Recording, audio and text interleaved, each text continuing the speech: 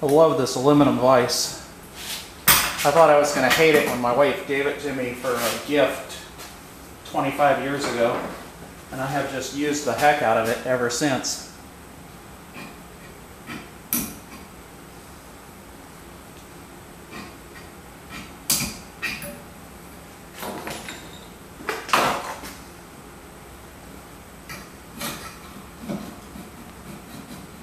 Just taking the burrs off.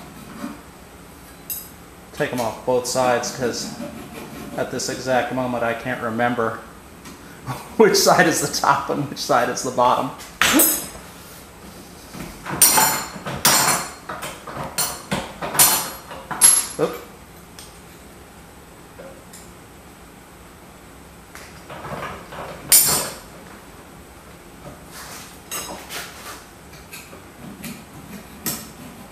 I'm not going to make you watch me deburr both plates thoroughly.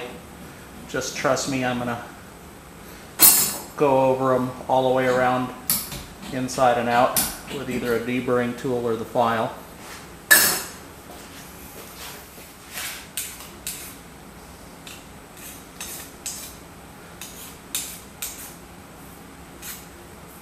That one's done, I think. I don't feel any burrs or ridges sticking up. Now to do the other one. All right, at this point I don't honestly know for sure if they're going to fit. Um, I measured this with calipers and I kind of guessed on the location and size and position of the locating pin. It looks a little large, but if I can get that in with a little bit of mallet force, that'll be adequate because I don't want it popping out by accident. Excuse my thumb in the picture.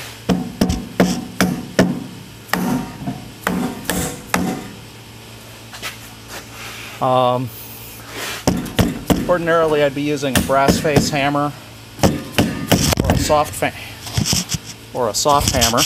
Excuse my video there. But my brass face hammer and my regular soft hammer are both MIA. I'm to have to move the camera out of the way to, to tap that down all the way around, but it feels pretty good. So I may be good there. Anyway, the large slot here is for being able to tighten or being able to tilt the table. And then the one here with the smaller slot is kind of a, uh, uh, uh, a close uh, clearance plate for when I have to uh, cut off small pieces. Hopefully I won't suck so many of them down into the machine.